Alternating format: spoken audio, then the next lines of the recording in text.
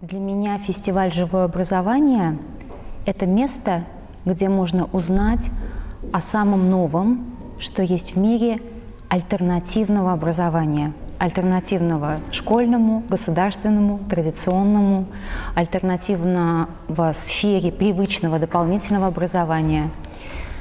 Для меня люди, которые собрались здесь, а,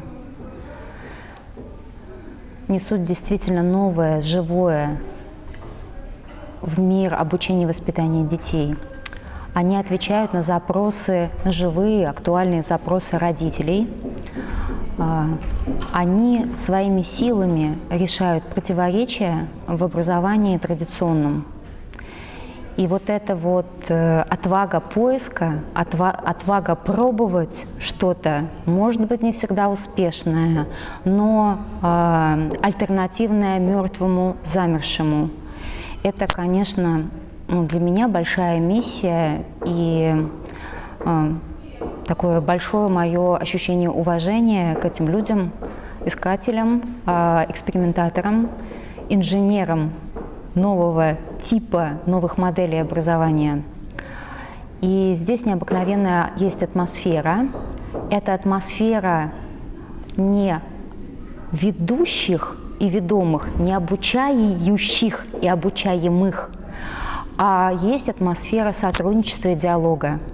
Это действительно необыкновенно, когда э, лидеры э, в своем деле, там, в своей школе абсолютно на равных общаются и с э, такими же коллегами, и с обычной, э, обычной аудиторией, обычными участниками, э, потому что здесь на фестивале живого образования собираются как директора, начальники, президенты, руководители своих учреждений организаций, так и обычные родители, которые ищут а, необычную школу для своих а, детей, хорошую школу для своих детей, хорошее учреждение, неравное школе для своих детей.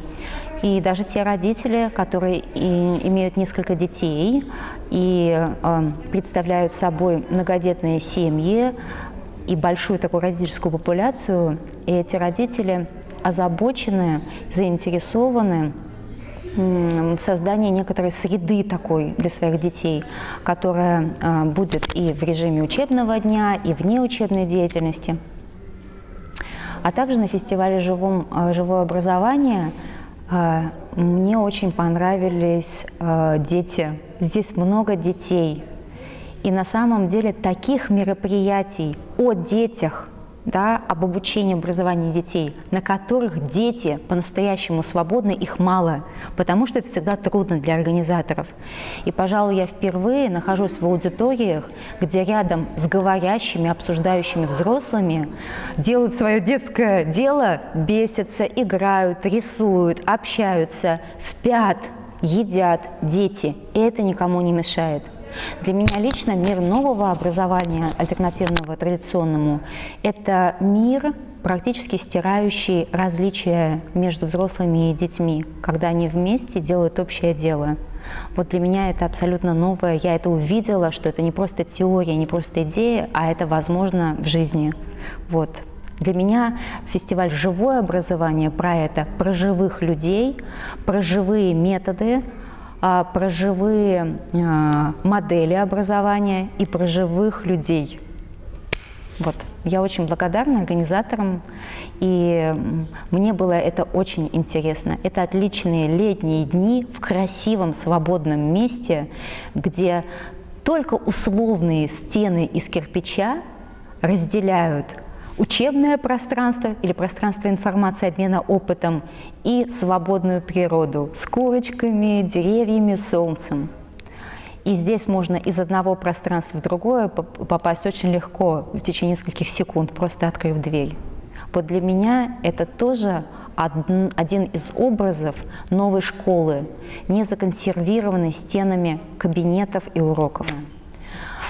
Но мне кажется, что все-таки образование детей, с одной стороны, это социальный заказ общества и государства а, к а, вот как бы режиму взросления ребенка. И каким быть ребенку, какие знания да, он получит, какое представление о мире, какой инструментарий по э, взаимодействию с миром, это решает у нас государственная программа. И родители по закону сейчас выступают заказчиками этого образования. Это значит, государство должно их слушать. Получается, что у государства и родителей а, у них общее дело. Они совместно решают, а, каким быть образование, образованию для их детей. Вот, это с одной стороны. Но на самом деле ведь это редко бывает так. И даже сейчас многие школы ограничивают активность родителей, а, не впускают их в школу и в физическом смысле, и не допускают их до, например, участия в разработке концепции школы, а, и делают это сознательно, и это выбор школы. Вот. А, но Зачем нужно образование? Наверное, так можно другой аспект раскрыть шире. Ведь образование – это образ мира, образ мира, который мы хотим транслировать нашим детям. Но дети ведь уже видят свой мир. И вот здесь договориться как бы с детьми, понять, а, какая картинка мира сложится у ребенка, в этом проявляется совместная, что ли, деятельность э, родителей и детей.